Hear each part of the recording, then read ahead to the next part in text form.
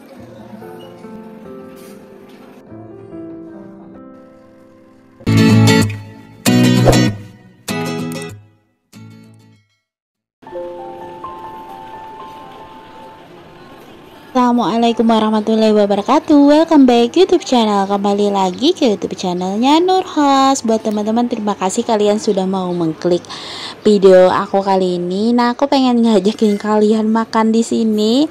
Karena berhubung uh, aku nggak masak di rumah Makanya aku diajakin suami makan di rumah Di luar aja deh.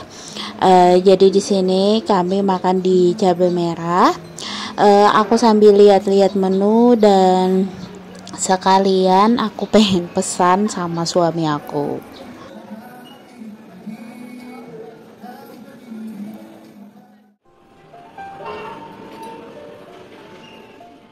Kalau untuk menu di sini yaitu menunya sama sih masakan ala Indonesia itu enggak masakan Korea ataupun Jepang.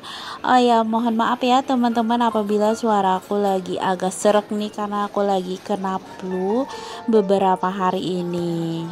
Semoga teman-teman semua termasuk mami-mami semoga kalian sehat-sehat aja ya. Dan ini aku lagi nunggu pesanan aku dimasakin. Jadi di sini aku sama suami sambil nunggu sambil ngobrol-ngobrol dan sambil bercanda. Ini momen yang aku suka banget. Apabila saat santai-santai itu aku uh, suka banget ngobrol sama suami. Cerita apa aja masalah rumah tangga kami masalah apa pun atau masalah keluarga-keluarga yang lain momen ini yang uh, sangat aku suka banget saat berduaan sama suami yaitu terkadang bercanda saling curhat saling cerita-cerita gimana nih uh, keseharian ini di kantor ataupun gimana nih keseharian di rumah. Selalu deh saling cerita sama pasangan lain. Dan alhamdulillah menu kami udah datang. Aku cuman pesan tiga menu doang. Iga bakar sama mie goreng jawa sama aku lupa ini aku pesan apa. Uh, sop uh, sapi juga tapi aku lupa ini uh, menunya apa. Alhamdulillah aku makan dulu ya teman-teman uh, bersama suami. Semoga kalian gak ngiler ya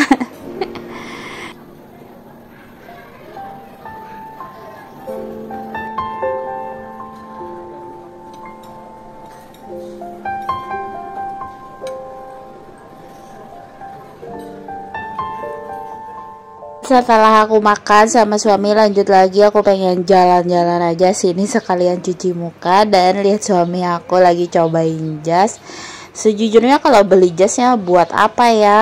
Eh tapi dia pengen coba-coba aja cocok enggak dan lihat deh badan kami berdua sama-sama pada subur sekarang. Susah banget buat ngurangin berat badan padahal aku udah berbagai macam cara buat diet apa pun tapi nggak tau lah uh, badan aku masih tetap aja besar seperti ini. Aku pengen ngurusin tapi aku nggak bisa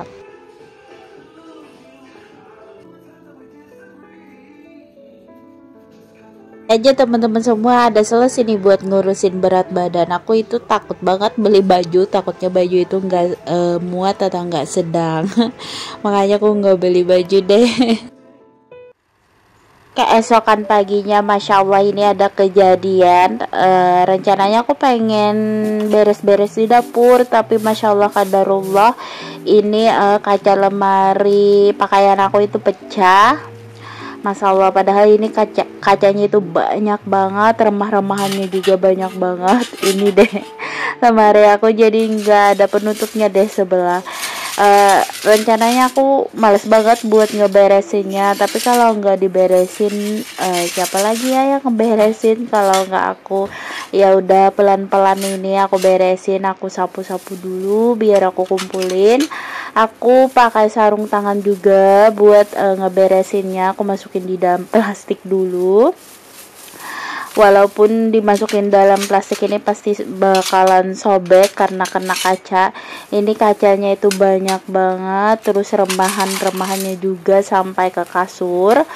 Uh, makanya aku uh, sedikit demi sedikit deh ngeberesin ini semua perlahan. Takutnya juga kan uh, luka uh, di tangan. Makanya aku perlahan-perlahan aja masukinnya di dalam kantong plastik sambil diperhatikan.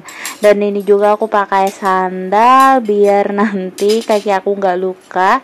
Jadi aku pakai sandal aja nggak ngikutin yang lagi rame-rame ini vlog mecahin kaca. Cuman buat konten doang. Enggak ya teman-teman. Ini emang da, uh, emang uh, kejadian yang gak aku inginkan. Tadi kan rencananya aku itu selesai mandi pengen uh, ganti pakaian.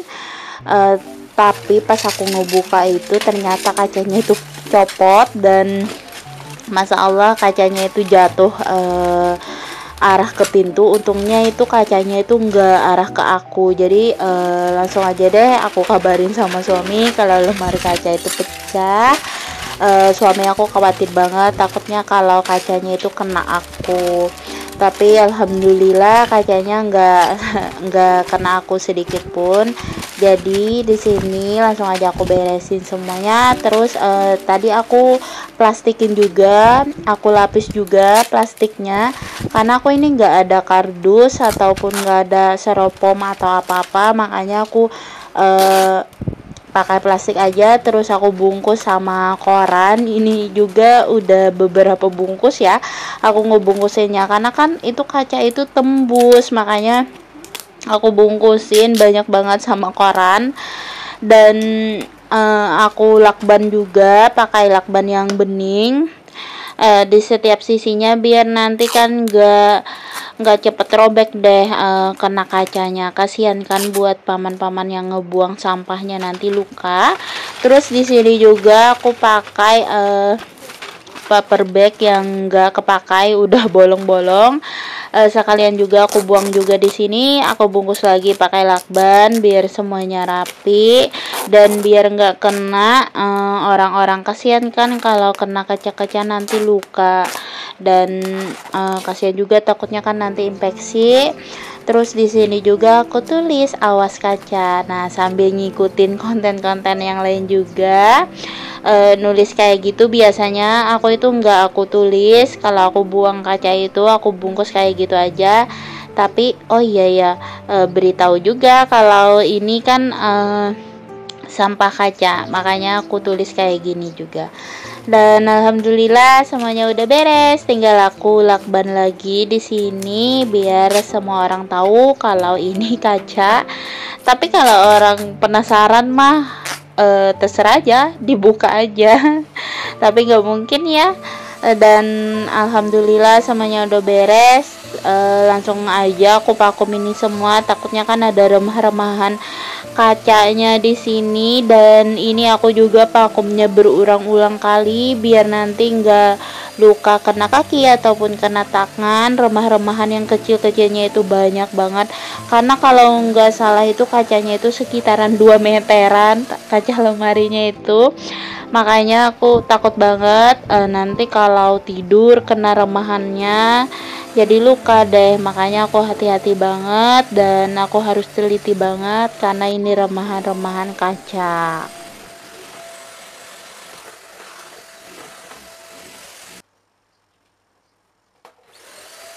dan sekalian juga di sini deh aku vakum di sini semuanya. Nanti aja insyaallah besok aku ngeberesin uh, dapurnya aku. Uh, biar aja deh sekalian di sini aku nyapu nyapu uh, semuanya. Takutnya kan uh, kacanya sampai ke sini-sini Nah, gimana nih teman-teman? Bagaimana kabar kalian semua? Kalian lagi ngapain? Terus kalian lagi masak apa nih hari ini?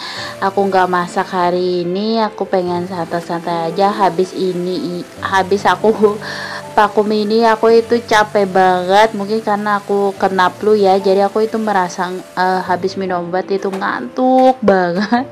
Makanya selesai aku uh, rumah ini aku tidur. Aku ketiduran uh, uh, baru jam setengah empat baru aku bangun karena saking aku capeknya. Uh, dan aku juga lupa tadi aku tidur itu sekitar jam berapa karena aku kan lagi uh, kena flu jadi aku minum obat. Uh, mungkin karena kalau kena flu itu kan uh, kita harus istirahat yang cukup. Mungkin aku istirahatnya kurang makanya kalau siang kayak gini aku ngantuk.